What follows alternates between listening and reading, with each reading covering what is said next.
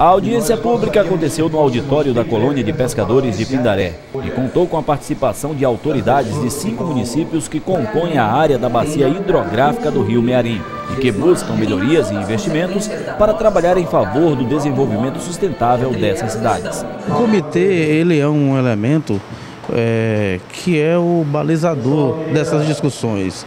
Sem ele, nós não temos o apoio da população e a gente não tem como saber realmente a necessidade ou os problemas que há em cada uma dessas regiões, cada uma dessas cidades que são ribeirinhas. O objetivo do encontro foi a formação de uma comissão para tratar das questões que irão ajudar na preservação da bacia que sustenta outros rios importantes no nosso estado. É um fundamento para que a gente tenha a participação popular, que a gente faça essas assembleias. Então, nela é onde há as discussões dos problemas localizados de todas as bacias de recursos, onde nós temos nossos recursos hídricos. Ele é um instrumento onde vai ajudar o gerenciamento. E agora que a gente está instituindo, está fazendo os estudos para a criação do nosso, do nosso levantamento da, dos nossos recursos hídricos do Estado, isso vai ser fundamental para casar junto com as eleições do comitê. E nós criaremos mais comitês ainda. Comitê do Rio Itapecuru, Comitê do Rio Baixo, do Rio Preguiças. Eles são fundamentais. Porque quando a gente tiver a ferramenta, os estudos, o do Pindaré já existe, o do, do Munim.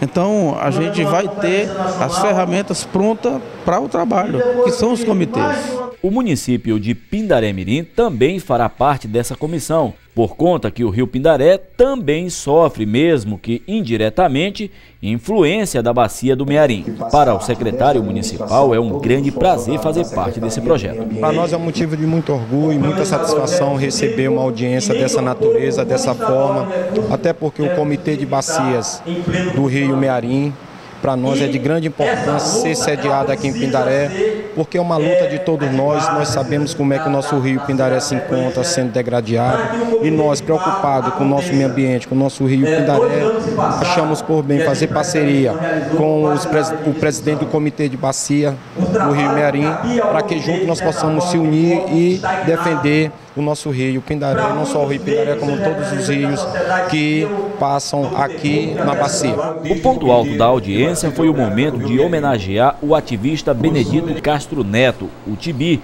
que morreu em um acidente de trânsito na MA 320. Por conta de suas lutas pela preservação do meio ambiente e em especial pelo rio Pindaré, Tibi ganhou reconhecimento em todo o estado. A mãe, a irmã e um dos filhos do ambientalista estiveram na audiência para receber duas placas de reconhecimento, uma por parte do governo do estado e a outra da prefeitura de Pindaré. Emocionada, a irmã de Benedito Castro Neto falou das homenagens. Nós recebemos essa homenagem como, como honra, né? Porque na verdade é, nós não esperávamos, né, que ele tivesse esse reconhecimento. Então, para nós, é, o dia de hoje, apesar da nossa perda, foi um dia de felicidade, porque eu sei que onde quer que ele esteja, ele está feliz pelo reconhecimento, pelo tempo né, que ele foi ativista social, ambiental, porque ele era, na verdade, ligado com muitas causas sociais e ambientais. Um homem nobre, de coração grande, e poucas palavras, mas de muitas atitudes. É assim que eu descrevo meu irmão.